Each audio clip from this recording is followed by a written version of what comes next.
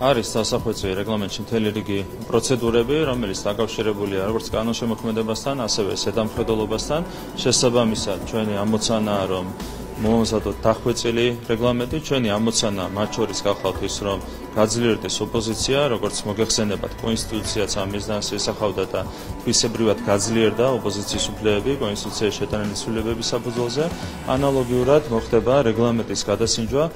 ჩვენ ყოველს უნდა გვახსოვდეთ მათ შორის მინისტრებს, რომ ჩვენ ვართ საპარლამენტო რესპუბლიკაში შესაბამისად ჩვენი ვალია რომ გავაძლიეროთ პარლამენტი და მათ შორის თითოეულმა ჩვენთანმა ვაგოთ პასუხი დეპუტატების და პარლამენტის წინაშე რაც არ უნდა წავე კითხვები. ისმოდეს თავრობის წყარო არის პარლამენტი შესაბამისად ჩვენ ვაგებთ და უნდა ვაგებდეთ პასუხს პარლამენტის წინაშე.